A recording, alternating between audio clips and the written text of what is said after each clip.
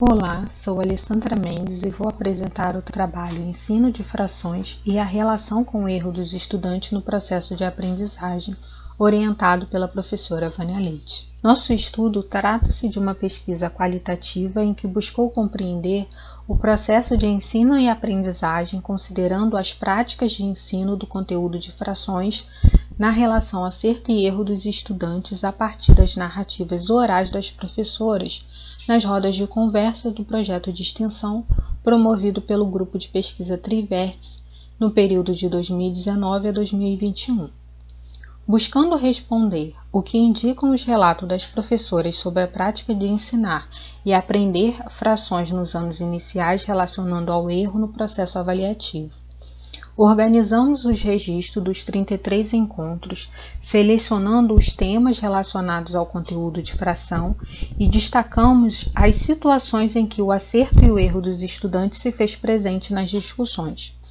Apoiamos o nosso estudo na teoria dos campos conceituais de Verneau, o conteúdo de fração a partir dos cinco significados abordados por Nunes, Magina e Campos, a resolução de problemas na concepção de Onushi, a avaliação mediadora em Hoffman e as narrativas em Nakarato e Passés. Assim, realizamos um estudo teórico buscando compreender o que as pesquisas revelam sobre o nosso recorte temático.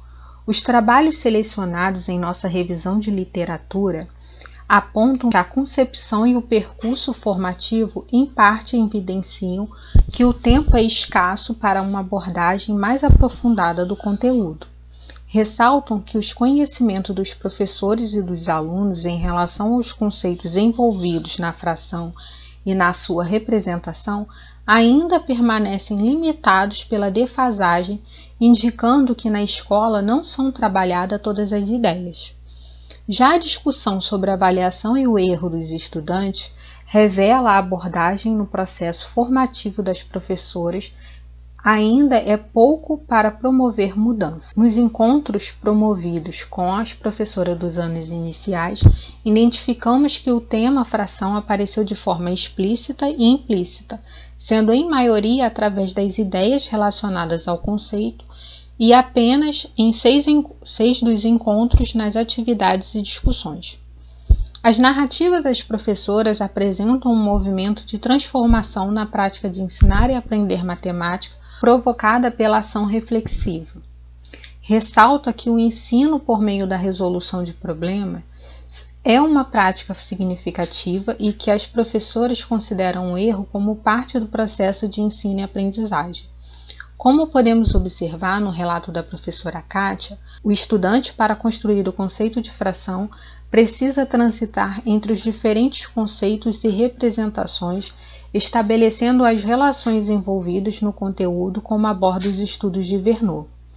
A narrativa dela também evidencia a valorização da estratégia do estudante, como apresenta a concepção discutida por Onushi ao propor sugestões com possibilidade de ensino, e de Hoffman ao considerar que ambos, professor e aluno, atuam de forma ativa no processo de construção do conhecimento.